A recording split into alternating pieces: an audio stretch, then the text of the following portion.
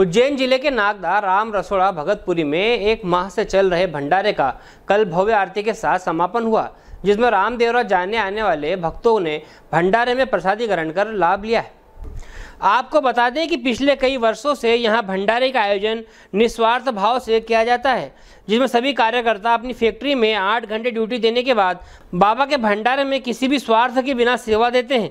कल बाबा रामदेव जी की जयंती पर भंडारे का समापन किया गया, जिसमें लगभग पंद्रह हज़ार से ज़्यादा लोगों ने भंडारे में भोजन प्रसादी ग्रहण की और लाभ प्राप्त किया। नागदा से संजय शर्मा की रिपोर्ट। हेलो फ्रेंड्स आप देख रहे हैं हमारा channel S W twenty four news हमारे सारे वीडियो सबसे पहले देखने के लिए आप हमारे चैनल को सब्सक्राइब करें और पास में लगे बेल आइकोन को दबाना बिल्कुल भी ना भूलें।